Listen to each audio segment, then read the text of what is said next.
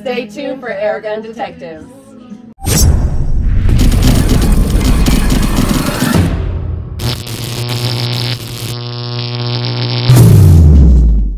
Welcome to another episode of Airgun Detectives. I'm your host, JC, and today we're going to give you the first episode of our 1911 series. And the first 1911 we're going to feature is going to be the Barra. But before we get started on that, do me a favor, hit the subscribe button down in the corner. Doesn't cost you anything, it's absolutely free, but it really helps support the channel. In addition to that, check out my uh, website when you have a chance, www.airgundetectives.com. On that site, I have the t-shirts, I've got hats, got the Generation 2 bipods for those break barrels and underlevers. And occasionally I also put some of my personal inventory on there. So there might be an air gun in there that interests you and you just can't live without. So check that out. All right, let's get back to the Barra. This is going to be the first gun in our 1911 series. And those of you who don't know, I'm going to feature a new 1911 every month in addition to uh, two regular reviews that I'll do. But in addition to that, I'm going to do a third review every month and it's going to be on a 1911. So this is our 1911 series. So the first one is our Barra 1911. Barra Air Guns puts this out. So let's show you what you get here in the box. All right. So what we have, let's get rid of the box. We've got your manual, basic manual, gives you all the instructions, everything you got going in there. Okay. We also, one thing about the styrofoam boxes, drops a little styrofoam, little warning label. And the cool thing with this, it actually comes with some BBs. Check this out. So you get a little starter kit of BBs, some 5.1 grain zinc BBs. I like the zinc BBs the best myself. And you get a Allen wrench, and that's going to be for your CO2.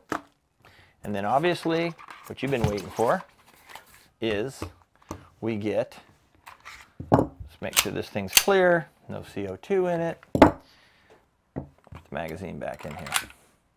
All right, let's decock it. There you go. There's the Barra 1911. I'm gonna move this out of the way too. All right. So, Barra 1911, what exactly is this? This is a CO2 powered. It's powered by 12 gram CO2. It's uh, a .177 caliber steel BBs or 4.5 millimeter. And the beautiful thing about this, it's a full blowback. See how far back this goes? Full blowback. Very, very realistic. Now, this might look a little familiar to you.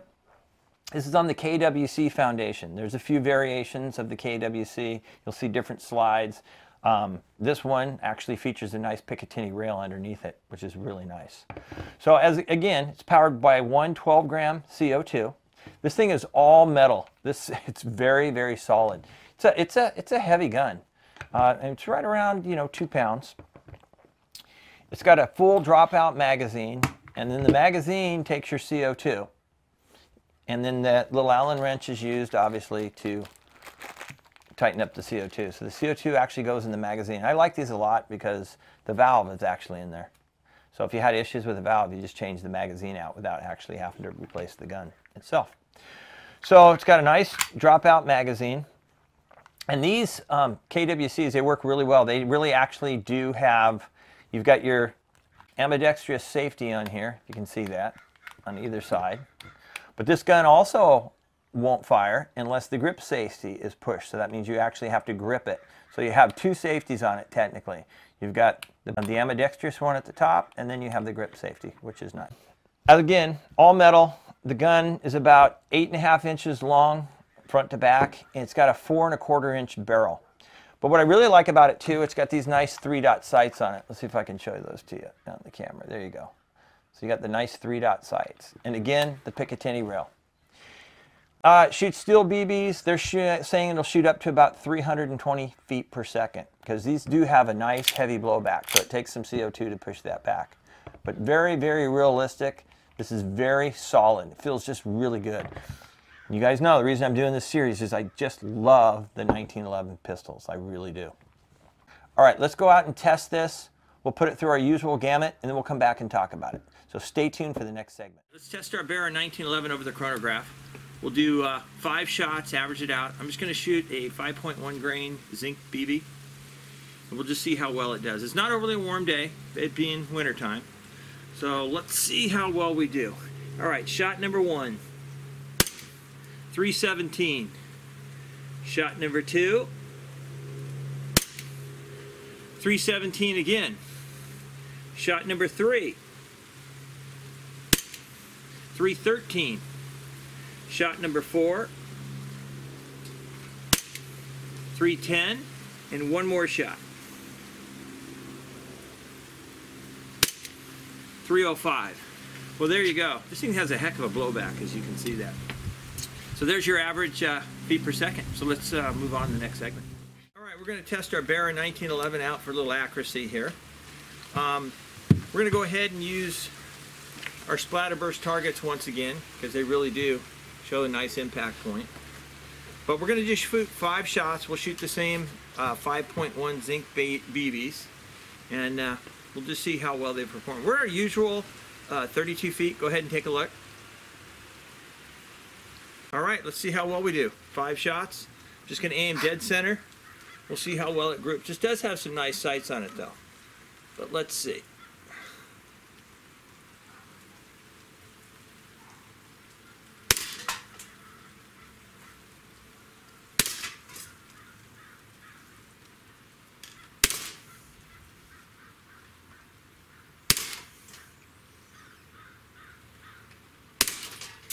Wow.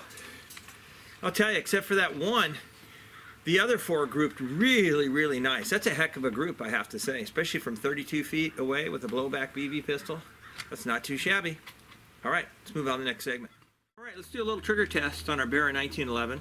I can tell you right off, these have really nice triggers, but let's see how the pull weight is. We got our trusty Lyman trigger gauge here. Let's reset it. All right, let's see how well it does.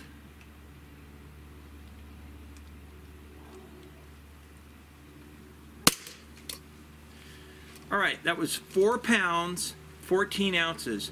Four pounds, 14 ounces. You gotta love it. Under a five pound trigger. Fantastic. All right, let's move on to the next segment. All right, guys, my favorite portion of every review video, as you know, is the plinking portion because we're gonna knock things down. But I thought for fun today, um, since the 1911 here, the Barra has a front rail, I put a green laser on there. So I got the green laser set up on there.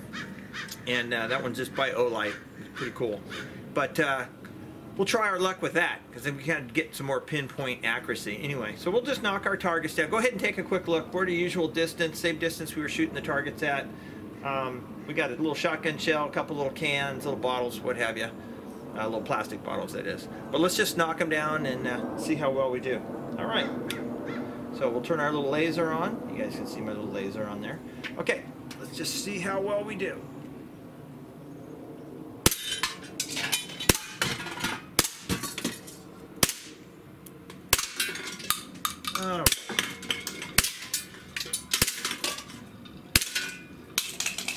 Tough to miss with that laser on there, that's for sure. But anyway, that's a lot of fun. All right, let's go ahead and wrap this up, move on to the next segment. All right, let's wrap this up with our conclusion. Wow, that was a lot of fun.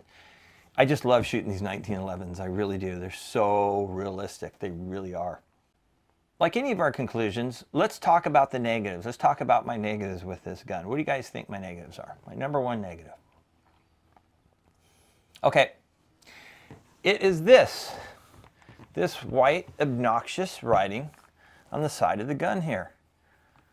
It's pretty bad if that's my only negative, isn't it? But anyway, I don't like this obnoxious writing. The good thing about these guns are they're completely field strippable. And I'll show you some of the other ones. I mean, literally, I can take this thing, every piece apart on this gun, entirely. The great thing is you can pop that slide off.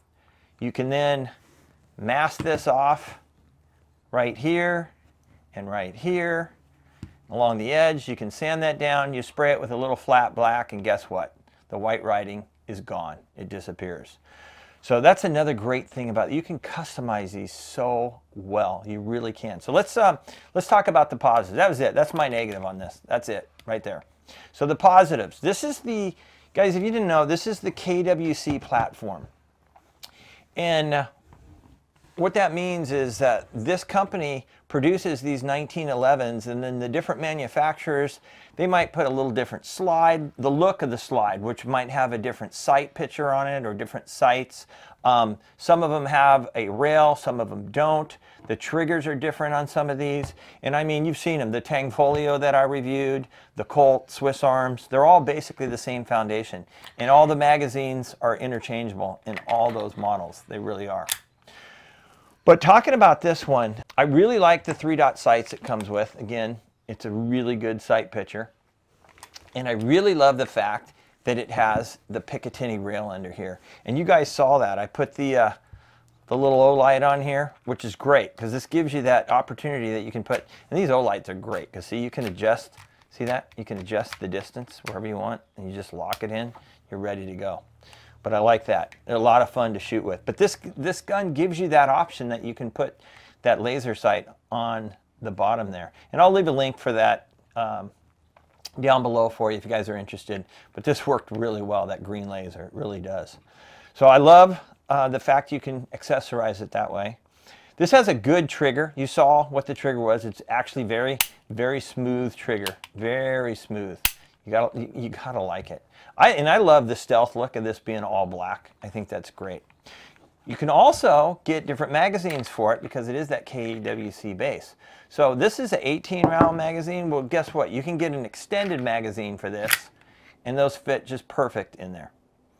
So you got your extended magazines you can get as an accessory. So that's a great thing about that KWC um, foundation.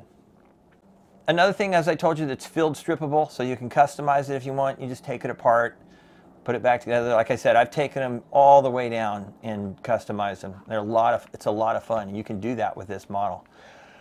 Um, what was really good, this thing had good accuracy. You saw the group that we got. I mean, it really did. We're talking about a smooth bore barrel with a very heavy blowback, heavy blowback, very realistic. And this is great to practice with. If you're like a 1911 guy and you carry a 1911 and you want to do some practice, this is great because you can shoot this in the backyard, in your magazines. It's, it's a single stack type magazine and you can practice magazine changes and do all that. So it's great. So we had good accuracy. We also got about 70 shots per CO2, and that's going to vary a little bit depending on the weather. If it's a little warmer, probably get a little more. If it's a little colder, you're going to get a little less. So, but the velocity was right there. Was right where they advertised. So it's, uh, like I said, it's uh, very realistic. It's probably one of the more realistic 1911s that you're going to get. And I love the full blowback as far as that goes back. It really does. So how would I rate this gun? Come on, guys. This is a five-star gun. This KWC Foundation by far is a five-star gun. I just love it. It's so realistic. And uh, by the way, you can even, if you want to get wood grips for these, you could actually get wood, real 1911 wood grips for them. You just have to carve out the inside a little bit so it can uh, accommodate the CO2. But you could change those out. But actually, I just like the way this one comes. The only thing I can think that I'll do is I will mask that off, sand that down, and I'll spray that black just to get rid of the white warning. Other than that, it's just a good looking, good looking pistol. And it's well worth five stars. It definitely is. Okay, guys, so remember, every month I'm going to feature another 1911. Okay? Every month. So that's going to be my 1911 series. So it's going to continue. So look for it every month. I'll feature a different one until I'm out of 1911s. And you guys saw in the preview video how many 1911s I have. So this is going to go on for a while. So anyway, with that, I appreciate you guys tuning in once again. Don't forget, this is where we take the mystery out of the air gun. Until next time, take care and God bless.